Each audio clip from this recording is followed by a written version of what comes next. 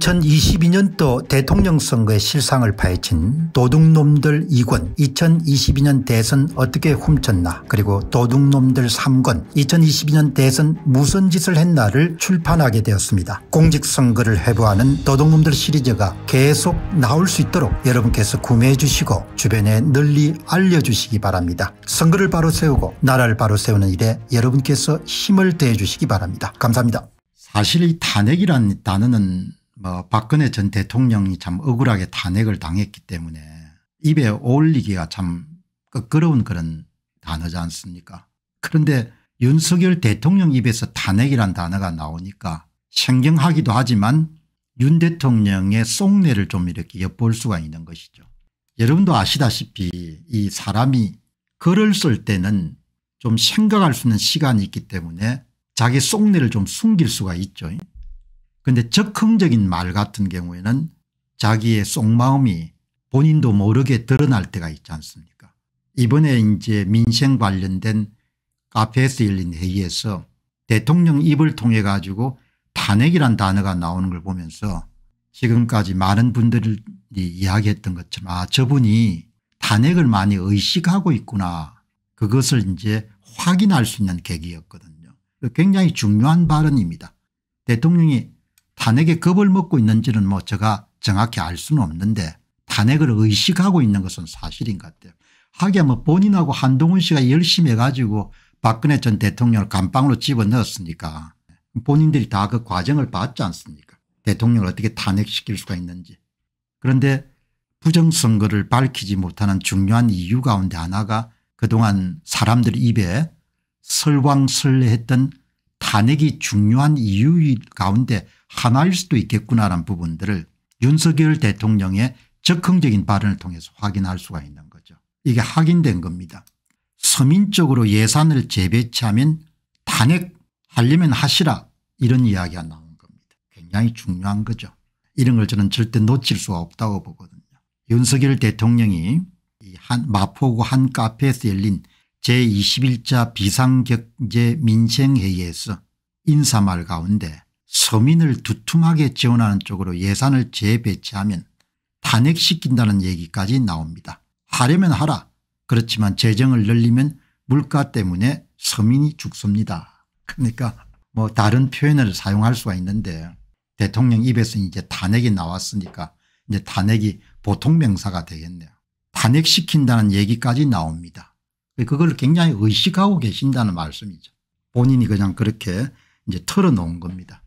그래서 그동안 이제 이 보시게 되면은 불효불급한 예산을 줄이고 서민이 절규하는 분야 예산을 재배치해야 되는데 돈을 받아오던 사람은 죽기 살기로 저항합니다. 정치 과잉 시대에 이런 것을 하기가 정말 어렵습니다. 윤석열 대통령 저항하는 쪽에서는 내년 선거 때 보자 아주 탄핵시킨다는 이야기까지 막 나옵니다. 하려면 하십시오. 그렇지만 여기에는 써야 하겠습니다. 본인이 의식을 한다는 거죠. 탄핵 가능성에 대한 부분을.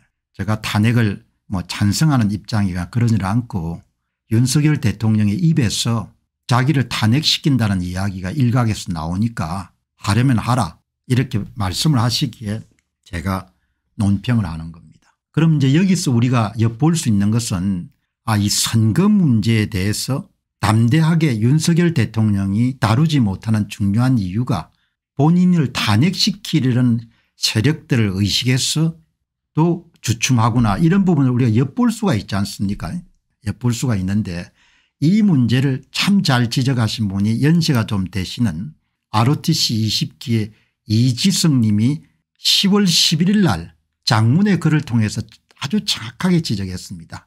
이제 윤 대통령이 그동안 선거 부정 문제에 대해서 그렇게 침묵하고 뭐 3구 대통령 선거 때나 6월 지방선거 때나 그냥 사전투표를 먼저 앞장서서 하고 그런데 그 부분에 이제 잘못을 지적하고 이 이지석 님이 뭐라고 지적하는 거 하니까 윤석열 대통령께는 이런 불안함이 있는 것 같습니다.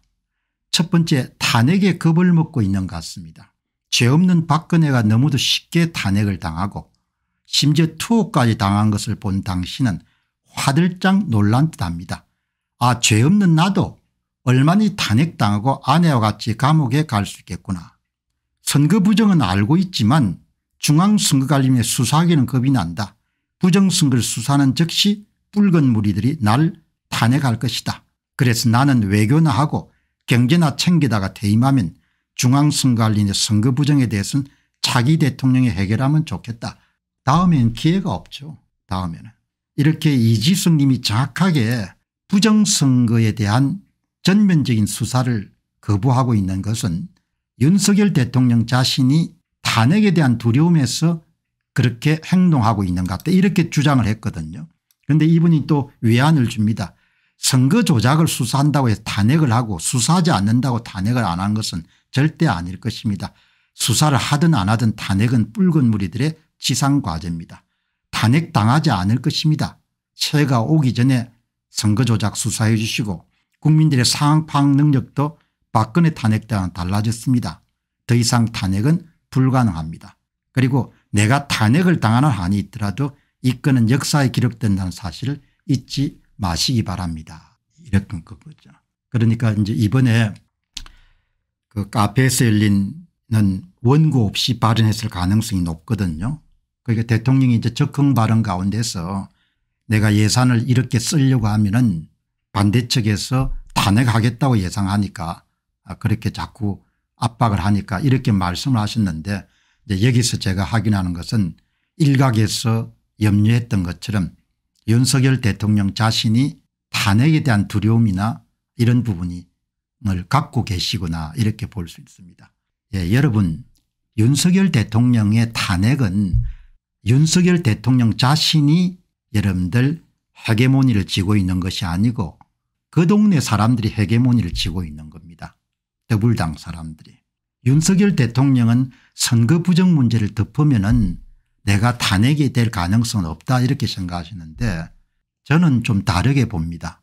왜 다르게 보는가 하니까 그냥 이런 감각으로 이야기하지 않고 강서구청장 보궐선거를 깔아뭉개는 걸 보면서 국민의 힘이 강서구청장 보궐선거에 침묵한 대가로 선거 사기 세력들이 강서구청장 보궐선거 수준으로 조작을 하게 되면 은 200석을 훨씬 넘지 않습니까 더불당 단독으로. 그럼 그 사람들이 뭐죠 그냥 예 결정권을 갖고, 갖고 있는 겁니다. 좌익들이란 것은 기본적으로 아 윤석열 대통령이 선거 부정 문제를 수사할 수 있음에도 불구하고 수사를 안 했기 때문에 고맙다 이렇게 절대 생각 안 합니다. 그냥 비가 오나 눈이 오나 그냥 감방으로 보낼 겁니다. 저는 그렇게 봅니다. 좌익이나 좌파라는 것은 기본적으로 남한테 덤탱이를 씌우는 것이 굉장히 익숙한 사람이고 죄의식이 별로 없습니다. 여러분들 이거 익숙하지 않습니까 제가 강서구청장 보궐선거 마치고 난 다음에 강서구청장 보궐선거는 잘 알려진 바와 같이 제야 전문가가 분석한 것처럼 사전투표율을 부풀려 가지고 3만 7천 표의 가짜 사전투표자 수를 만들어서 그것을 20개 동의 더불당 진교훈 후보의 사전투표 득표수하고 거소투표 득표수에 집어넣어 준 거 아닙니까 그래서 역대 사상 최고치의 조작을 해가지고 압승을 한 겁니다. 그럼 7.5%를 2024년 총선에서 여러분들 감행하게 되면 은 전국에 329만 표를 확보할 수가 있는 겁니다. 329만 표를 선거구마다 이런 필요에 따라 쑤셔 넣을 겁니다. 이제 앞으로 그 선거구마다 쑤셔 넣었을 때 어떻게 여러분들 개인별 순위가 바뀌는 것을 이제 앞으로 여러분들 시간을 내 가지고 계속 이번 주말부터 이런 보도를 하겠습니다. 329만 표를 전국에서 이런 쑤셔 넣을 수 있는 겁니다. 그러면 그랬더니 지역구만 전망을 해보면 194석을 차지하게 되는 겁니다. 여기 비례대표 20석을 합치게 되면 얼추 214석을 차지하는 겁니다. 윤석열 대통령이 탄핵을 뭐 불안감을 갖고 계신 거는 사람이니까 이해가 되는데 탄핵을 할 것인가 말 것인가 하는 거는 그냥 선거 부정을 밝히든 밝히지 않든 간에 여러분 탄핵, 탄핵 세력들은 원하면 탄핵을 시켜버릴 수가 있는 겁니다. 이렇게 나오지 않습니까 이거는 감이 아니고 저는 2024년 총선에서 사전투표율을 7.5% 이상 정도 부풀릴 것이다 이렇게 봅니다. 그럼 대패하는 겁니다. 300석 가운데 200석을 단독으로 갖게 되면 은 탄핵 안 하겠습니까 탄핵시키죠. 개헌 안 하겠습니까 개헌하죠.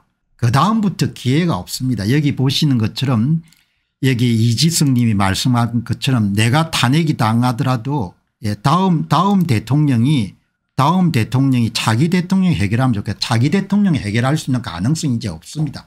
그냥 2024년 총선으로 대한민국의 자유민주주의는 끝장나는 겁니다. 그 다음에 여러분들 뒤집으려면 피를 많이 흘려야 되는데 대한민국 국민들 피 흘릴 여러분들 그런 각오가 없는 겁니다. 그걸로 그냥 대한민국은 그냥 이제 일본말로 시마이라고 합니까 그냥 끝나는 겁니다. 제가 패배의식을 주입한다는 것이 아니고 현실에서 여러분들 승리를 하려고 하면 은 지나치다고 할 정도로 냉정하게 현실을 볼 수 있어야 되거든요. 희망 고문을 하거나 현실을 여러분 미화하거나 이렇게 하면 은 문제 해결이 안 되지 않습니까 일어난 현실을 착하게 봐야 되는 거죠. 윤석열과 김기현이 2023년도 10월 11일 강서구청장 보궐선거를 모두 다 침묵을 한 겁니다. 그것은 다르게 이야기하면 선거 조작 세력들이 2024년도 4월 11일 총선에서 전면적인 여러분들 조작을 할 수 있는 것을 시그널을 준 겁니다. 그 전면적인 조작이 일어나게 되면 선거 결과가 이렇게 나오는 겁니다. 300 최소 329만 표를 여러분들 도둑질 해가지고 다 뿌릴 수가 있는 겁니다. 이건 다 여러분들 그냥 숫자로 그냥 분석이 다 된 겁니다. 그러면 최소 214석을 단독으로 더불당이 가질 수 있는 겁니다. 214석을 단독으로 가지면 개헌 안 하겠습니까 그럼 당연히 하죠. 탄핵 안 시키겠습니까 당연히 탄핵시키죠. 예. 그러니까 ROTC 이시킨 이기승님 말씀하시는 것처럼 당신이 선거 부정을 다룬다고 해가지고 탄핵 당하지 않는 것도 아니고 안 다룬 데가 탄핵 당하지 않는 것도 아니고 어차피 탄핵은 시킨다 이야기죠. 이렇게 나오지 않습니까 그래서 내가 사내가 뭐 그렇노 이런 이야기가 나오는 겁니다. 우리는 당신처럼 학교 다닐 때 공부를 이름 잘하지는 않았지만 남자 새끼가 뭐 그렇노? 이런 이야기가 나오는 겁니다. 투박하게 경상도 말로 하면. 사내 새끼가 뭐 그렇노? 응? 대통령이 돼가지고. 그럼 니는 탄핵이 안 되면 백성들은 어떻게 되는 거고? 백성들이 노예가 되는데 그거는 니 눈에 안 보이나? 이런 이야기가 그냥 육두문자를 나오지만 방송이기 때문에 점잖하게. 아니 백성들은 그럼 안 보이나 제가 세상 살면서 남자 중에 가장 하치로 보는 것이 책임감 없는 남자들입니다. 책임감 없는 남자들. 이렇게 여러분들 돌아가는 거지 않습니까 그러니까 이번에 그 대통령 말씀을 듣고 아 이분이 정말 일각에서 여러분들 제기했던 것처럼 탄핵에 대해서 두려움을 많이 갖고 계시구나. 그것이 앞에서 개최된 민생대책회의에서 그냥 불쑥 튀어나왔구나. 자 그러면 한번 따져보자. 그러면 부정선거 수사 안 하면 탄핵 안 하겠냐. 아, 탄핵한다는 이야기죠. 결과를 보니까.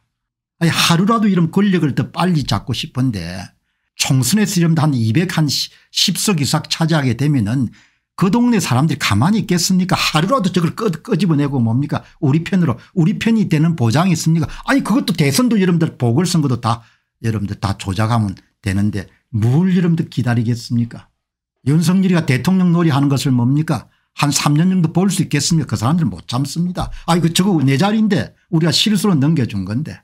이렇게 된 겁니다. 남자가 좀 남자다워야 되지 않습니까?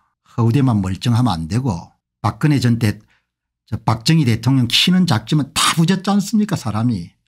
그래서 제가 내린 결론은 대통령께서 탄핵에 대한 두려움이 있는 것 같은데 탄핵을 할 것인가 말 것인가는 선거 부정에 대한 수사를 개시하든 안 하든 간에 그 사람들은 그렇게 할 것이고 다만 선거 수사를 하게 되면 은 2024년 총선에서 그렇게 무자비하게 사전투표를 조작을 못할 때니까 국민의 민의가 보장이 되면 은 아무리 힘든 상황에서도 국민의 힘과 더불당이 비슷하게 나올 것이다 이야기죠.